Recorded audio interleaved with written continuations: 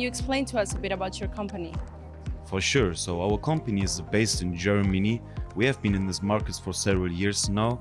We started out as a wholesaler for new products, especially with brands like Apple and Samsung, Toshiba, yes.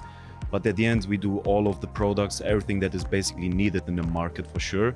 We have, and right now we are, of course, starting to find new opportunities for new businesses, new markets, new countries. So far, we've mostly been working in Europe, throughout Europe and I mean, uh, where there's an opportunity, we want to uh, make sure that we take it, right?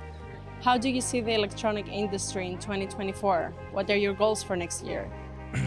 I have to be honest, um, because I'm mostly focused on phones. Yes, as far as I can tell, with the phones market, I think so far it's the biggest rising market in the whole uh, electronic uh, market, and I think for 2024, for the next year, it will also be the market with the biggest opportunities but then again, every year there are new technologies, something new comes out, everybody wants to buy the newest product, the latest product, right? So I think the market will always be on the top and uh, the best market to uh, trade in, for sure.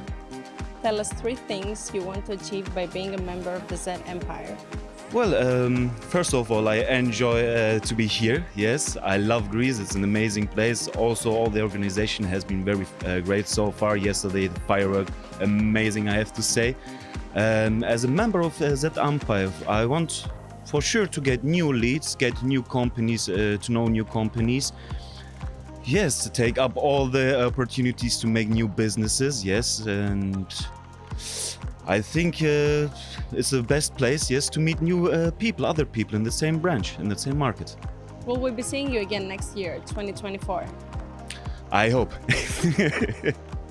Z Empire has a motto. Z Empire, where marketing equals to? Sales, of course.